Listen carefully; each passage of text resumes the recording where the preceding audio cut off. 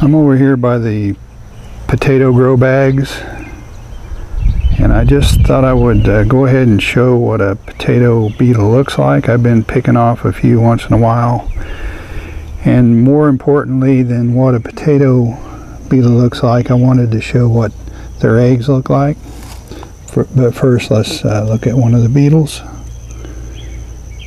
And what I've been doing is just hand picking those. You can you can take um, like a small container with some soapy water and just drop them in it. That'll take care of them pretty quickly. I've got two of them right here close by each other. And once you notice those on your potato plants, if you start looking around on the bottom sides of the leaves, you might find some eggs. The thing about these eggs is they look almost exactly like a ladybug's egg.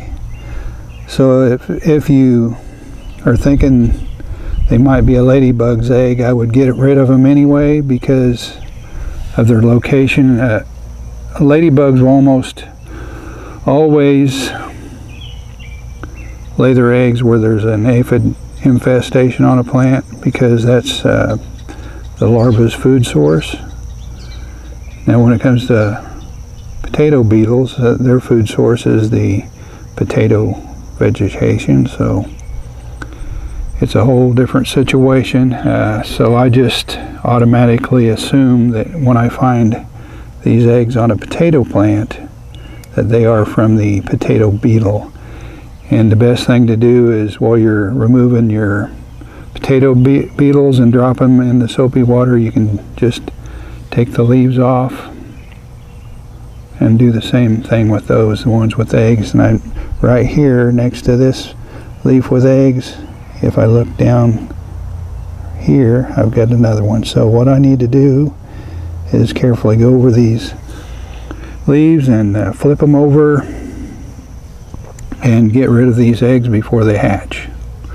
I just wanted to show what the eggs look like because they do look like just like a ladybug's egg. And if uh, you ran into them thinking they're ladybug's egg uh, eggs on your potato plant just assume they are from the potato beetle. And I'm not sure but I'm thinking this is probably Colorado potato beetle.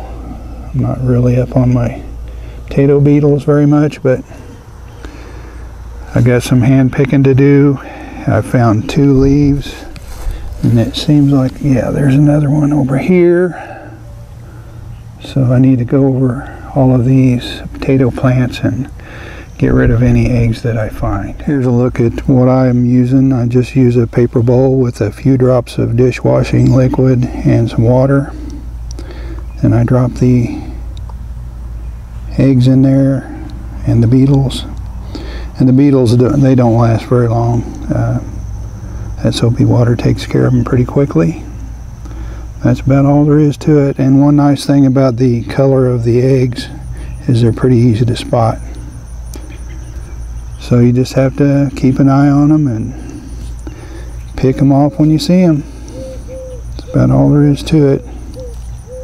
One thing I thought I should mention before we go is um, the potato beetle can also feed on any other member of the nightshade family, which would include eggplants and tomato plants. So you don't want to get let them get out of hand or they might be a bigger problem than just your potatoes.